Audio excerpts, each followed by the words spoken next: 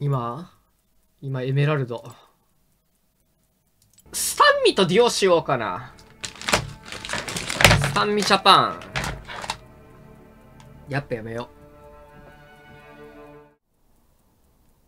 う。じゃあちょっとデュオしようかな。こいつ何なの？っていうか。配信してるよ。おい。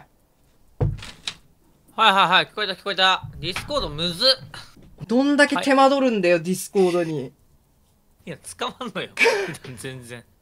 共有のディスコードなさすぎねあ、ないね。まさかもなんか消えてるしな。あ、キックされたのかないや、キックは、どうせお前が、ディスコードいっぱいチャンネル入ってんのうぜえわってなって抜けたんだろ。なんかピロピロなんだもん。もう通知もつけらんねえ。配信中になるから、ダリー。通知消したらさ、配信中出てこなくない？なんか、いや、つけろって言われたんだよね。えー。あまりにも気づけないから。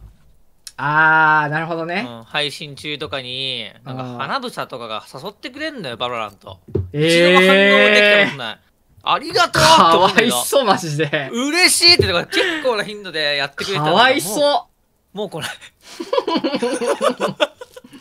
もうね来ないお前大事にした方がいいよ。だからだから通知音にすんだよ俺はもう遅いよ。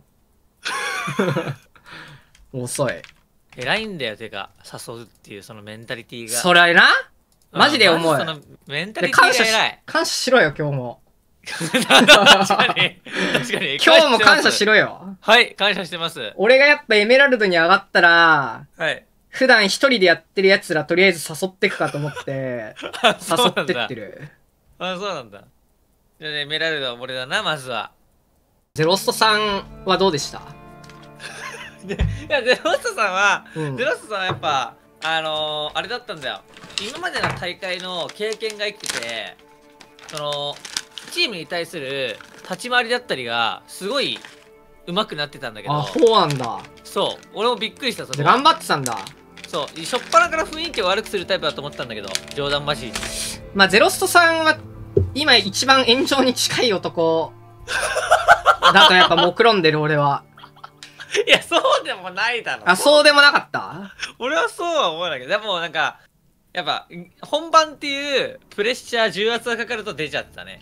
そのなるほどね。舌打ちとか。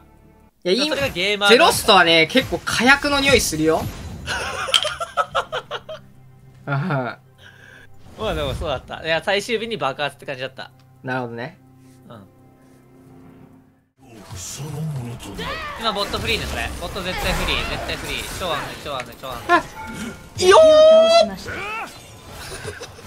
味方が倒されました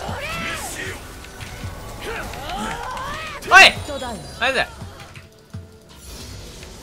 ス！さあボットもかぶいたところでドラゴン行きましょうか。こういう意味だったんだな